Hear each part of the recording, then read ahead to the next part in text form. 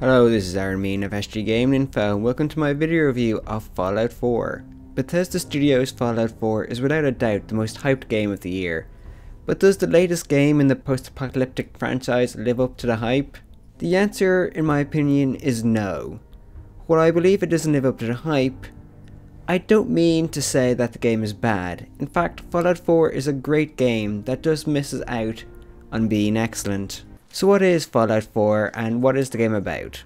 Fallout 4 is a post-apocalyptic RPG that allows you to experience the world 200 years after nuclear war wiped out most life and left the planet looking like a barren wasteland. Your character, which you can be either male or female, experiences the, pre-apocalyptic and post-apocalyptic world as the game opens with you and your family running to Vault 111 to escape the nuclear attacks. Inside the vault, you and its occupants are cryogenically frozen for 200 years, but during this time you are awoken while raiders break in, steal your infant child, and kill your partner. When you are eventually fully thawed out, your only goal is to find your lost child and exact revenge on those who stole him. As plots go, Fallout 4 is straightforward, but in the end, the plot does create an amazing and fun journey as the game's story has you meeting, interacting with, and joining various post apocalyptic factions. These interactions help shape your idea of the wasteland, with characters talking about secret advanced societies that act without restraint, and learning the secrets of the wasteland through side quests help create your own ideas of the societies that inhabit it. For example, the Brotherhood of Steel, a faction that covets pre-war technology, looks down on other factions that strive to survive the harsh nuclear wasteland.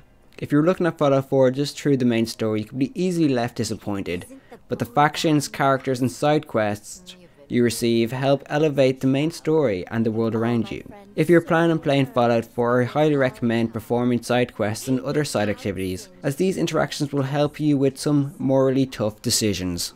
Since you can play as either a man or a woman, you may be wondering what the game's character creation is like. Well, it is limited to only altering the character's face. While it is limited to this, the alterations are pretty in-depth, as you can heavily customize the character's look by simply selecting a part of his or her face and scaling the selected portions to your heart content. If you want to create a truly unique character, Fallout 4 offers the right tools for the job. Like any good RPG, Fallout 4 has a number of stats and perks that help your character feel as unique as possible. In Fallout 4, the perk system is known as Special, with each letter representing one of the game's 7 main stats. When leveling up you can choose to put points into the main stats or use them on perks, which can be unlocked by reaching a specific level or main stat. These perks, along with the main stats, help create a unique form of gameplay, with perks and stats allowing you to specialise in certain fields, for example, if you aren't the type of person to run and gun, you can use the stats and perks to improve your sneak ability and increase your lockpicking and hacking skills. Speaking of combat, it is very similar to previous Fallout titles. Most combat is done at range with the various firearms you find in the game. However, if you aren't overly confident in your shooting ability, you can use the VATS targeting system to slow down the fast-paced shooting to a more tactical form of combat, as you have access to a more precise form of aiming with the ability to target limbs more easily. But there is a trade-off as the amount of times you can activate this system is limited to the amount of AP you possess at the time. While fighting is usually about shooting or punching, there are other ways to win a fight. In Fallout 4 you can talk your way out of battle and win confrontations by using your charisma to talk enemies into giving up or gaining new information. The conversation addition to combat and dialogue is a fascinating addition, but to fully utilise it, you must be very focused on leveling your charisma stats. Speaking of dialogue, what are conversations like in Fallout 4? Well, in terms of presentation, they are an improvement over past Fallout games, as Fallout 4 is fully voiced. But this change limits it, as I was constantly left feeling the dialogue had to be trimmed down and additional ways of talking were reduced or removed. There was also other noticeable issues I had with the dialogue, and that is how the charisma focused additional dialogue worked. The issue at hand was the use of a colour scheme to denote your chance of success, with yellow being the easiest and red being the most difficult. But these colours didn't give a clear indication because at times I found myself being successful with a red colour while still failing with an orange difficulty colour. I would have personally preferred to have a percentage chance beside the choice, with or without the colours included. Now if you've been following the game in any form before release, you would have learned that your character has a companion in the form of a dog called Dogmeat. Dogmeat is one of a number of companions that can join you in your wasteland adventure, with each companion having their own unique traits. For example, Dogmeat can pick up items and bring them to you, and the detective Nick Valentine can hack computers for you. Companions are great as they help leveling the playing field when combat gets tough. Moving away from the plot, stats, dialogue and companions, what else does the game offer? Well, like every RPG, you have crafting. Crafting in Fallout 4 is divided into six sections. Workshop, Armor, Chemistry, Cooking, Power Armor, and Weapons. Disregarding Workshop for the moment, what can you do with the crafting? Well, armor and weapons allow you to improve and customize your armor and weapons, with the weapon crafting being the most obvious with the customization. For example, you can turn a simple 10mm pistol into the likes of a sharpshooter's light 10mm pistol, which offers better recoil and hip accuracy against its original 10mm pistol version. Other than weapons, cooking and chemistry is also important, as cooking allows you to make non-radioactive food, which means there's less of a need to worry about a piece of food lowering your overall HP while still healing lost health. And chemistry allows you to make temporary stat boosting items.